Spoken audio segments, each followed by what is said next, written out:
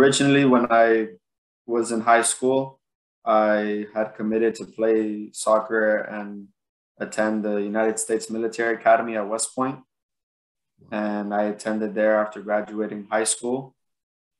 However, once I, you know, I decided I wanted to take a different different path from the from the army. You know, I, I wanted to go into try to become a professional soccer player. I transferred back home to Florida International University at here in Miami, mm-hmm. and living at home, I wanted to, you know, have some type of way to make money for myself and stuff like that. So I, I looked into, you know, doing personal training for for soccer and I had one of my good friends that, you know, we we ended up starting it together and working together and mainly, you know, it was just seen as a as something, you know, to do on the side, you know, while I was playing soccer at FIU at the division one level. And that's how that's how that's how it started. Perfect, perfect. So tell us a bit about your business then. What what does your company specialize in? So, as I said before, I had started with my best friend mm-hmm. uh, at the time, and we we grew a company together called uh, Prodigy Soccer Training, and I worked there for about three years, and then towards the end we had a kind of a falling out. So I decided to go on my own and and do my own thing and that's where i, I created a premier soccer academy mm-hmm. and my my business specializes in a one-on-one or group training for soccer mm-hmm. um, very technical based training you know with game like experiences and a lot of position based uh, you know training in order to improve the the player on and off the field you know not only make them a better player but also make them a better person mm-hmm. and try to try to improve all aspects of who they are as a player and as a person. Love that, love that. So you that have been coaching and training for for a while now, what does a high quality session look like for you then? What should it include? Well, for me, I think you know to high quality session always starts with a good a good warm up. Um, you know, some some type of you know, just active stretching, active warm up to then go into some type of agility, you know, speed and agility, mm-hmm. uh, some type of drill like that. And then a lot, about 20 to 30 minutes of technical work, you know, yeah. focused on first touch, passing, dribbling, small spaces, big spaces, ball mastery. And then towards the end, have you know bring some of the stuff that you did into in that technical training into something that's position based you know if a player is a right back how can you work on their first touch going forward? You know to play down the line or if they're center mid can you work on having them turn and play into a space? You know for me that's that's my a high level training point Absolutely love that. So, with your current clients, who, what, what type of clients do you work with? Are they normally beginners? Are they intermediate, or are they players that are striving to play at a higher level? Um, I think for the most part, I have players that are striving to play at a higher level. Mm. Um, I think I have mainly intermediate to those to those players straining, striving to be at a higher level. Even at a very young age, I have kids that are eight, nine years old but that already you know have that mindset of wanting to go pro wanting to go try out in different places but i also have older players that are 14 15 that you know want to just be better on their team to then possibly go play at a college level or something like that but for the most part i i mean i i don't only choose them mm-hmm. but i've been thankful and you know have having the that clientele to be always at a good high level with the sessions. So love that. So what, what's the number one thing you look for when you bring on a new client into your business? I think the you know the the hunger to to improve, you know, the commitment and the discipline. You know, I think those are the, the three the three main things I, I look for in a client because I rather much I much rather have you know a player that's you know beginner to intermediate that's willing to put in the work and willing to get better and willing to you know commit to the process rather than a high level player that you know thinks he knows it all and just there because his parents want him to be or something like that. Mm-hmm. Love that, love that. So let me take you back to when you first started uh, Premier Soccer Academy. What what is what was your biggest obstacle when you started, and do you currently have obstacles today? So my biggest obstacle was definitely managing my time between you know being a Division One athlete and running the business. Mm-hmm. I think that have, trying to find the time, you know, and the energy to do it after you know being being in training, lifting weights, going to class, and then having to go and you know put in a, a high quality session was mm-hmm. one of my main my main obstacles. And then I started in right after COVID hit. Mm-hmm. So that was another obstacle for me, you know, having to deal with COVID and having to deal with uh, you know all the regulations at the time, mm-hmm. easing into you know normalcy, and then having to you know maintain all like the CDC guidelines and stuff like that while trying to be a coach. Having a one-on-one session was was quite difficult. So how, how do you manage playing and managing managing a business? So uh, at the at the beginning, it was very it was very difficult because it's not just being a coach. You know, that's it's a big part, but it's not the only part. Uh, I've realized over the last few months that you know being being very active on social media, is very important. You know, being active with the parents, communicating with them, you know, going to see the, the, the player play, you know, dedicating that undivided attention to them is very important, which I didn't have before. And now that I do, I've seen a very big difference, you know, very big difference in my amount of clientele and then, you know, the commitment of the clientele. Awesome. So how many clients are you currently working with at the moment? Uh, I think about 20 to 30 clients per week. That's awesome. Excellent. Congrats. I hope Thank I hope you. that that continues to grow as well. Yes, I, I hope so as well. Awesome. So where so Andre, where do you see private training going in the US in the next two to five years then? I think it's only gonna get big, get bigger, get you know more more people trying to get into this business. As you know, it's it's a very um, it's a high risk, high reward. You know, if you're willing to put in the effort into yourself, and you you know you're willing to believe in yourself and put in the work, and I think it's it's very rewarding.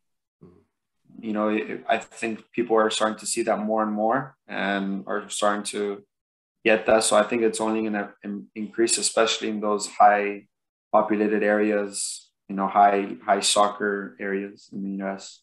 Mm-hmm. Love that. So, for any coach watching this interview or, or listening listening to it, what would you say to them if they they want to start a business but they're either hesitant or they have a fear of starting? What would be the, your number one advice for them? I think I mean the number one advice to me for myself, you know, when I when I was doing this, you know, I had uh, I had just moved into a new place. I you know I just had a, a one year old son so I had a lot on, you know, a lot of things, a lot of people depending on me. Yeah. And for me, this is something I love. And if it's something that the other coaches love and they've, they've devoted their, you know, almost their entire lives to the sport that they, that they, they've, they've been doing, I think, you know, what do you have to lose mm-hmm. in betting on yourself? Mm-hmm. You know, it, it's something that you've, you've loved for since you were a kid, you know, possibly. And in my situation, you know, I've been playing soccer since I was four, and I never imagined myself doing anything else. So if you just have to believe in yourself, and you know, don't look back, and don't look to only look to people that are going to encourage you, not diminish you. Yeah, love that, love that. So, what what skills that you've developed in coaching have you taken into business then? I think uh, definitely being a a leader. You know, I, I brought in a few other coaches to work with me. You know, being having learning how to, to lead these kids and how to manage them is, is helping me ha- manage the coaches I work with. Yeah, and also uh, just the discipline of keeping up with you know planning sessions, reflecting on my sessions, mm-hmm. and trying to become a better coach every day is the same thing I I, I do with business. You know, I, I graduated in international business at Florida International University. And that's helped me out as well. You know, having that background and mm. going into the, my own business. Love that. So, how many coaches do you have working working for you then at the moment? I have two. I have two other coaches. Uh, one is with works with me in this location in Miami, and then I have another coach in Fort Lauderdale. Oh, awesome! And how have you found managing other other coaches then? I think it's it's been easy for me at least because they're my friends. Mm-hmm. Uh, one of them was my teammate at FIU, and then one of them was an old teammate of mine when I played uh, in club soccer when I was younger. Mm-hmm. So it's not they're not strangers to me. Yeah. You know, at the end of the day, you have to re- keep a, a business, you know, relationship with them. You know, you have to put the friendship aside for certain things, but for other things, it's easier to talk to them. It's easier for them to understand where they're coming from because they know you. They know mm. me at least on a personal level. Mm. Love that. Love that. So let me take you back to the beginning when you first started. How did you How did you get your first client? So my first client, my very first client when I got back from from West Point uh, was a friend of mine. His little brother was playing soccer Mm-hmm. And he just told me, like, look, you want to, you know, I know you're trying to start training. You want to train my brother? And I was like, yeah, sure. He just, yeah, he offered me 20 bucks to train him. And I was like, yeah, I'll train him. And then he started liking it a lot and he started to improve. And then I started to realize that I liked it as well. Mm-hmm. And then from then on, it was just, you know, just trying to look for more clients and trying to build my name. Love that. And what would you say is the number one thing kids today need? I think depending on the age level and you know the their knowledge of the game and stuff like that. Most of all, they need you know open-minded, number open-minded coach, a motivational coach, yeah. and then someone that understands what it's like to be in their shoes. I think that's very you know be have that empathy for them you know they what it's like to be a, a kid you know that's in third fourth fifth sixth grade mm-hmm. or above mm-hmm. and being going to school having friends you know realizing and also realizing that soccer isn't everything. I think yeah. trying to teach them that is very big. Yeah. I try and teach myself that every day but i struggle. Trust me i do i do too. There's, yeah. there's a part of me that that understands it and there's another part of me that, that, that doesn't understand it at all. Yeah exactly. 100% perfect. So let, let me let me ask you a bit about your your sales and marketing process then. So how do you sell sell and, and market your business then? It's come to a point where a lot of my references lately have been you know word of mouth. Mm. you know the kids i've been training from before talk to the to other people and recommend me um, which has been which has been very good. That's you know that's that's kind of what you want to look for as a as a personal trainer yeah. but also I'm, i've been very active on social media um, and then i i don't i don't try to you know negotiate my prices mm-hmm. you know i try to keep always a steady price and i i think my prices have been very you know um, fair and manageable you know going with the society that we live in, especially here in Miami, that everything's only getting more expensive. Mm-hmm. Um, but I'm trying to, you know, market myself, posting my sessions on social media, and then, you know, just in person, you know, trying to with all the different avenues I work with soccer, just trying to promote my my personal training business as well. Love that, love that. So something we teach our coaches in in our program is how to add value away from the training session. So, what's a couple of things that you do in your business to add value to to to your clients away from training? So, apart apart from training, um, I I do also, for example, game game film analysis. Mm-hmm. Um, I you know I'll, I'll have a kid send me you know his game film and try to and analyze it for him, see what he could do better, see what he did well. Um, I'll go to games to watch, um, and then also just having you know that one-on-one time i think you know parents have really seemed to value it you know like i'll have the kid arrive 15 minutes early and you know just not do anything related to soccer just have a nice conversation ask mm-hmm. them how school went you know what do they like to do outside of soccer just have them not just feel like you know their only value is as a player mm-hmm. teach them that their value is as a person as well. Love that, love that. So now that you mentioned communication, how how important is it to have good communication with parents? Oh, it's vital. I think it's the most important thing with your with with if you want to keep those clients, you know, if you want to really keep those clients and see the clients stay for a, a long time, I think the number one thing is to have a good relationship with the mm. with the parents, especially for players that are, you know, high, like, you know, about eighth grade and below, where the parents are still, like, you know, they, they have a very big relationship. Like, I have certain kids that, you know, I will pick them up and take them to practice because they're already, you know, in high school, they're homeschooled, mm. you know, and they, they, they're already more independent. So mm. the relationship is more important with them. Mm. But I have eight or nine year olds that you know, I have a very good relationship with their parents and, you know, the kids, the parents are always going to want, you know, talk to the other parents about me. And that's where, that's where it gets even better. Perfect. Love that. Love that. So where, where do you see your, your business in the next five years from now then? Five years from now, um, God willing, I'll have my own facility, uh, my own indoor facility because Miami is too hot.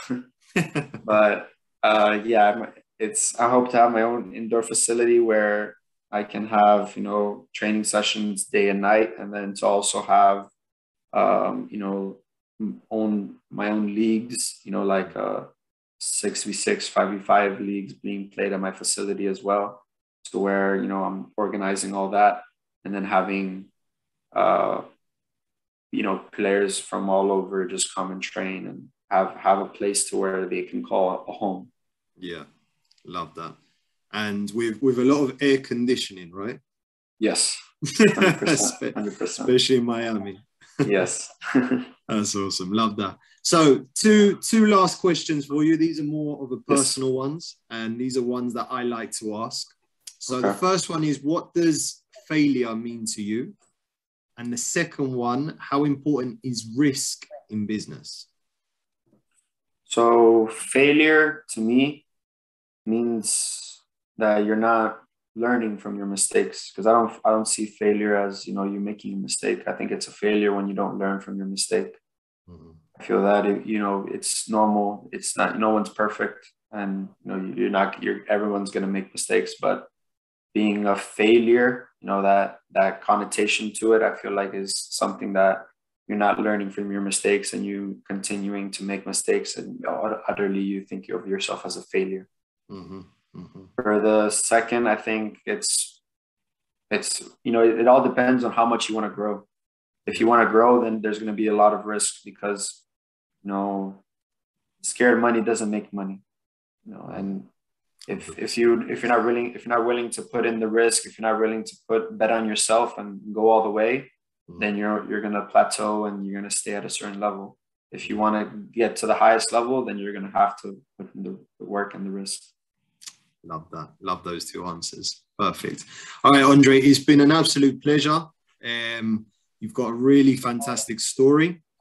Now, if any coach watching this or listening wants to follow your business or wants to get in contact with you, what would be the best way to do so? You can follow my Instagram page at Premier Soccer Academy. Mm-hmm. And also, uh, my email is uh, deco917 at gmail.com you know, if you have any questions that they have or want to get in contact with me, those are the best two. Awesome, fantastic. All right, Andre, I wish you the very best in the future with your business. I hope you your program grows and I hope you get your indoor facility with lots of air conditioning. Thank you very much. I really appreciate it. All right. Take care and we'll connect. We'll connect soon. Thank you. Have a great day.